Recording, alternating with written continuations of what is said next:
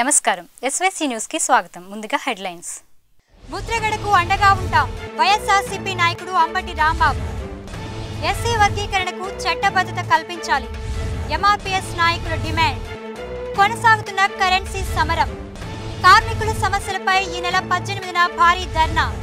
AITUC కార్యదర్శి రాధాకృష్ణమూర్తి. కాపు సామాజిక వర్గాన్ని బీసీలలో చేర్చాలని మాజీ మంత్రి ముద్రగడ పద్మనాభం చేస్తున్న కాపు సత్యాగ్రహ యాత్రకు తామంతా అండగా ఉంటామని వైఎస్ఆర్సీపీ నాయకుడు అంబటి రాంబాబు విలేకరుల సమావేశంలో తెలియజేశారు. ఎన్నికల మేనిఫెస్టోలో చంద్రబాబు చేసిన హామీని నిలబెట్టుకోవాలని ఆయన కోరారు. ముద్రగడ చేస్తున్న యాత్రను అణచివేయాలని చూస్తే ప్రజా ఉద్యమాలు చేస్తామని హెచ్చరించారు. ముద్రగడ యాత్రకు వైఎస్ఆర్సీపీ అధినేత జగన్మోహన్ రెడ్డి సంఘీభావం తెలిపారని ఈ సందర్భంగా అంబటి రాంబాబు తెలియజేశారు. ముద్రగడకు హాని తలపెడితే సహించబోమని ఆయన తీవ్రంగా హెచ్చరించారు. సమావేశంలో కిలారి రోసయ్య మామిడి రాము కొత్త చినపరెడ్డి తదితరులు పాల్గొన్నారు. కట్టుబడి ఉన్నాము. బీసీలకు నష్టం లేకుండా వారి రిజర్వేషన్లో ఏమాత్రము తగ్గకుండా కాపులకి రిజర్వేషన్ కల్పించమని మేము కోరుతున్నాము. ఏది చంద్రబాబు నాయుడు గారు చెప్పారో దాన్నే మేము కోరుకుంటున్నాము తప్ప అదనంగా మేము కోరుకోవడం లేదు. దానికోసమే గౌరవనీయులు ముద్రగడ పద్మనాభం గారు చేస్తున్నటువంటి ఈ ఉద్యమానికి మేము అందరం అండగా ఉంటాం. ఏమాత్రం ఆయన్ని అణిచివేయడానికి ప్రయత్నం చేస్తే చూస్తూ ఊరుకోము సహించము అనేది ఈ ప్రభుత్వానికి హెచ్చరిక చేయదలుచుకున్నాం. ప్రజాస్వామ్య పద్ధతుల్లో వ్యవహరించవలసిందిగా పోలీసు అధికారుల్ని తప్పనిసరిగా మేము ఈ సందర్భంగా కోరుతున్నాం. అలా కాకపోయినట్లయితే మీ మీద తప్పనిసరిగా ప్రజా ఉద్యమాలు వస్తాయనేది కూడా గుర్తుపెట్టుకోమని సందర్భంగా మీ అందరికీ కూడా గుర్తు చేస్తూ ఉన్నాను. ఇండియన్ మెడికల్ అసోసియేషన్ జాతీయ శాఖ పిలుపు మేరకు బుధవారం జిల్లా వ్యాప్తంగా ప్రైవేటు వైద్యశాలలు బంద్ పాటిస్తున్నాయి. అత్యవసర సేవలకు మినహాయింపునిచ్చారు. భారత వైద్య మండలి రద్దును వ్యతిరేకిస్తూ సత్యాగ్రహం పేరిట బుధవారం ఉదయం తొమ్మిది గంటల నుంచి మధ్యాహ్నం ఒంటి గంట వరకు వైద్యులు నిరసన ప్రదర్శన ధర్నా చేపట్టారు. వైద్యులకు తగినంత ప్రాతినిధ్యం కల్పించని నూతన బిల్లును కేంద్ర ప్రభుత్వం వెంటనే ఉపసంహరించుకోవాలని వారు డిమాండ్ చేస్తున్నారు. తమ డిమాండ్ల సాధన కోసం వైద్యులందరూ నిరసన ప్రదర్శన చేస్తున్నట్లు ఐఎంఏ నగర అధ్యక్షులు డాక్టర్ ఈదర కృష్ణమూర్తి తెలిపారు. కలెక్టర్ కాంతిలాల్ దండేను కలిసి వినతి పత్రం అందజేశారు. ధర్నాలో ఐఎంఏ నగర కార్యదర్శి ఆవుల శ్రీనివాసరావు పలువురు డాక్టర్స్ పాల్గొన్నారు.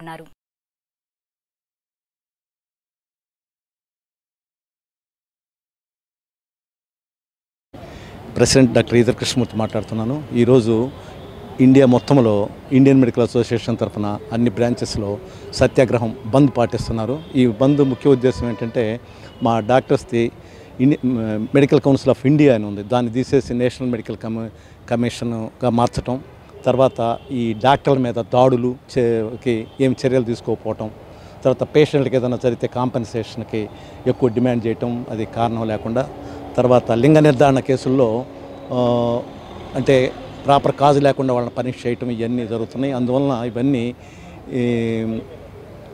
కరెక్ట్గా ఉండాలని చెప్పి మేము మోడీ గారికి తెలియపరచడం కోసం ఇక్కడ కలెక్టర్ గారు కి మెమోరాండం సమర్పించాము. అలానే లోకల్గా ఉన్న ఎమ్మెల్యేలకి ఎంపీలకు కూడా సమర్పించడం అయింది. వీళ్ళ ద్వారా మేము అక్కడ పార్లమెంట్లో మూవ్ చేయటం మాకు అన్ని అనుకూలంగా రావాలని ఆ సందర్భంగా మేము గుంటూరు అసోసియేషన్ డాక్టర్స్ అందరం ఈరోజు బంద్ పాటించి అందరం వచ్చి మెమోరాండం కలెక్టర్ సమర్పించడం అయింది. జిల్లా కాంగ్రెస్ పార్టీ కార్యాలయంలో పార్టీ ముఖ్య నాయకులు విలేకరుల సమావేశం నిర్వహించారు. ప్రజాస్వామ్యంలో ప్రతి ఒక్కరూ పాదయాత్ర చేయవచ్చని కాపుల విషయంలో ముద్రగడ చేస్తున్న పాదయాత్రకు కాంగ్రెస్ పార్టీ సహకారం ఉంటుందని మాజీ ఎమ్మెల్యే మస్తాన్ వలి తెలిపారు. కార్యక్రమంలో మాజీ ఉడా చైర్మన్ వణుకూరు శ్రీనివాసరెడ్డి తదితరులు పాల్గొన్నారు. కాపు రిజర్వేషన్లకు పూర్తిగా సానుకూలంగా ఉన్నటువంటి పార్టీ దీనికోసం ప్రత్యేకించి పార్టీ పరంగా కూడా ఒక విభాగాన్ని ఏర్పాటు చేసినటువంటి మొట్టమొదటి పార్టీ కాంగ్రెస్ పార్టీ.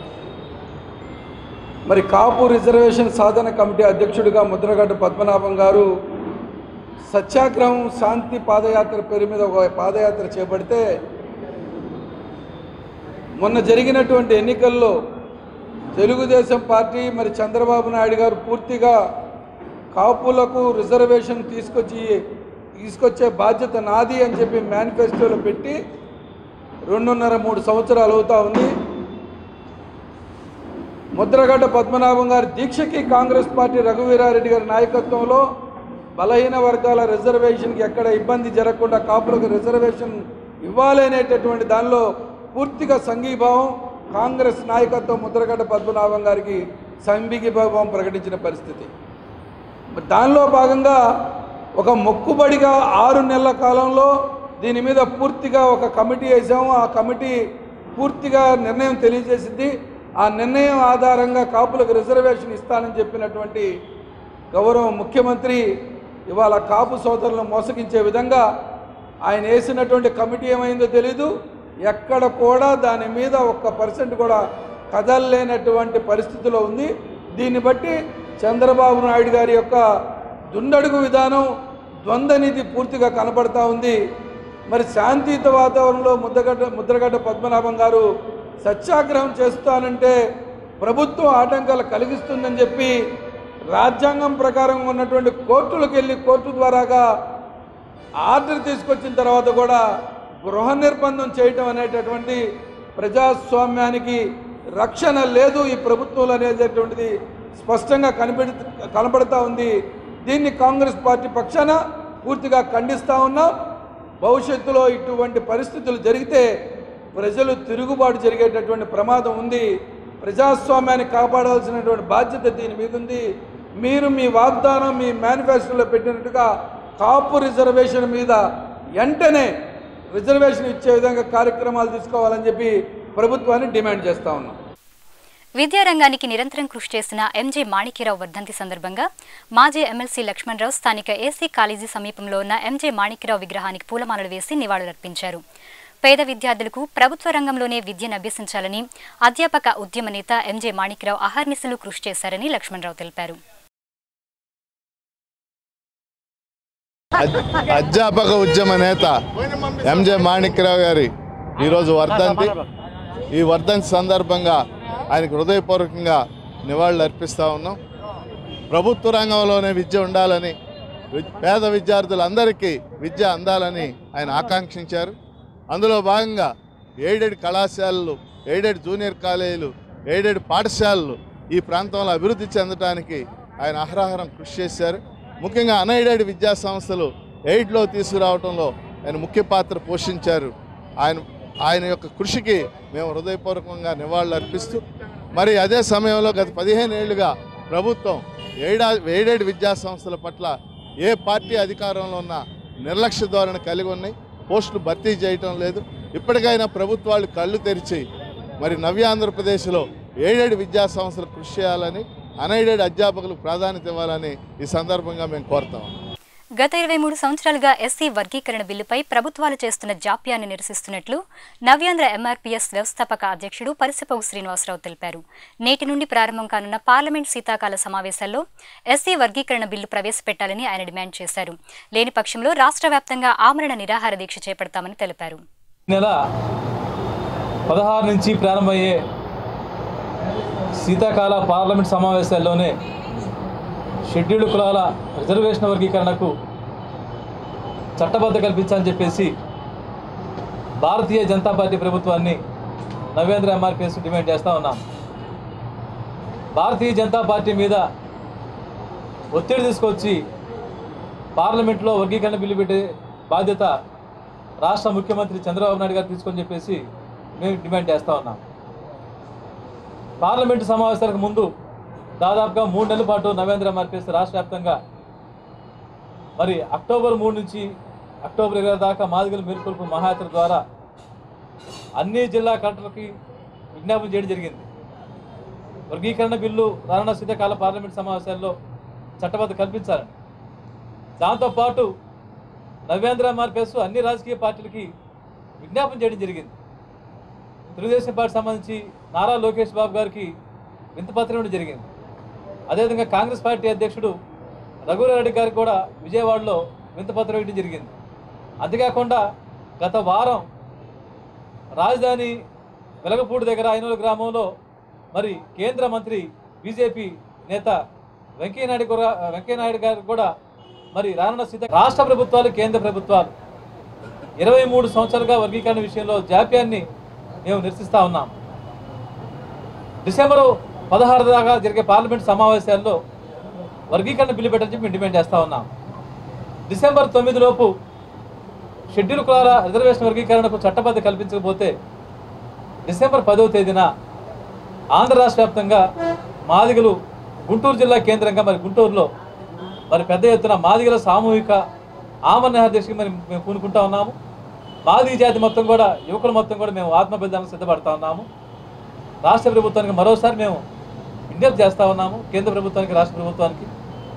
ఈరోజు నుంచి ప్రారంభమయ్యే శీతాకాల పార్లమెంట్ సమావేశాల్లో వర్గీకరణ బిల్లు పెట్టే విధంగా రాష్ట్ర కేంద్ర ప్రభుత్వాలు ముందుకు పోవాలి.